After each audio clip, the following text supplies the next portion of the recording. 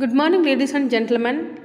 Welcome to fifth semester BA History program, session number 51. I am Sudhaji, Assistant Professor, Department of History. The topic we are going to explore today is about Cold War between 1972 to 1991. Students already learnt about Cold War. It was a, a prolonged political and ideological tussle between capitalist and communist world led by USA and USSR after the Second World War. Learning objectives to enable the students to know about the fourth stage of Cold War, to make the students to learn about the features of Cold War, to teach about the consequences of Cold War, and thereby to make them a lover of peace. Learning outcome at the end of the session, students will learn about the de-escalation phase of Cold War. Students will understand that united we stand, divided we fall. Students will understand that war leads to destruction. Therefore, they will focus on construction. Let us learn about fourth stage of Cold War.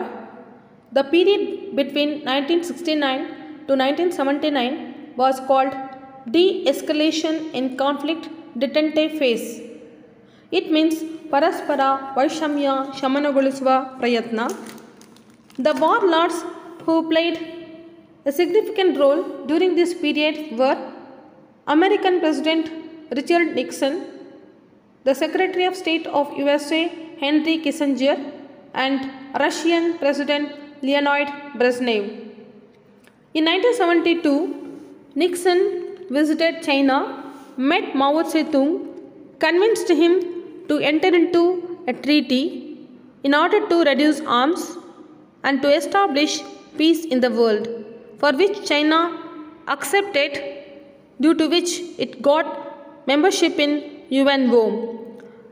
During this period, two strategic arms limitation talks took place. First one in 1974, second in 1979. In addition to this, START, Strategic Arms Reduction Treaty of 1985 and ABM Treaty also contributed in reducing arms. Due to these treaties, considerably, the space cooperation increased and also trade relationship among USA, China and USSR increased. The period between 1985 to 1989 witnessed the last phase of Cold War. During this period, Ronald Reagan, the American president, and Mikhail Gorbachev, the former president of erstwhile USSR, acted as the peace builders. In 1985, on 21st November, Mikhail Gorbachev met Ronald Reagan to discuss about intermediate range nuclear force. In 1986, on 11th December, Gorbachev again met Ronald Reagan in Iceland at Reykjavik to sign an agreement to reduce 50% of nuclear weapons in next 10 years. Along with this, Washington Summit of 1987 and INF Treaty were also important. Gorbachev introduced liberalization and privatization. He also introduced the two reforms glasnost that is openness perestroika that is reconstruction. These caused the wave of independence in USSR. It destroyed the Iron Curtain communist governments lost their existence in Poland, Hungary, and Czechoslovakia in other Eastern European countries as well. In 1988, Russia called back its army from Afghanistan. In 1989, the fall of Berlin Wall marked the end of Cold War.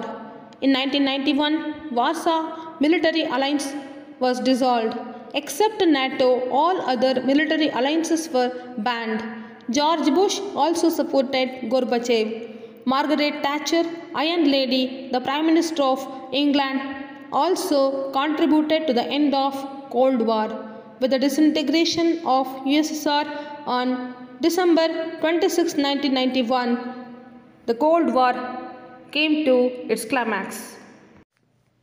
Before winding the session, let us learn about the consequences of the Cold War. It had eliminated all rivalry except between USA and USSR, which is very unfortunate. It had stabilized the global order after the Second World War.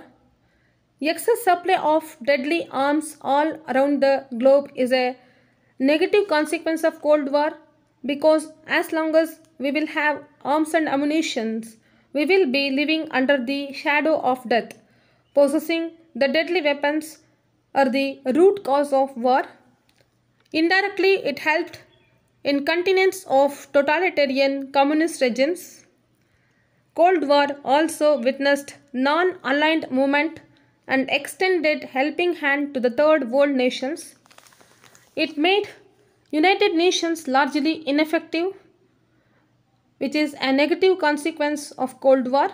It also affected popular culture, art, cinema, literature, dress, entertainment, sports, science and technology. After a prolonged discussion, we have learned that war is destructive, hence better to avoid it and live peacefully and achieve progress and prosperity. Thank you one and all.